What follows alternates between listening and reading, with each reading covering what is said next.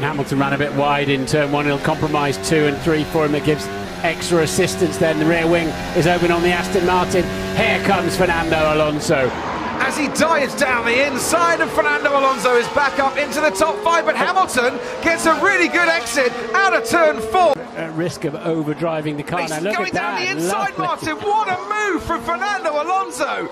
He really caught Lewis Hamilton at an unexpected moment. Se ha producido en el circuito, ahí está. Para que vean, fair play, competidores se echan de menos mutuamente.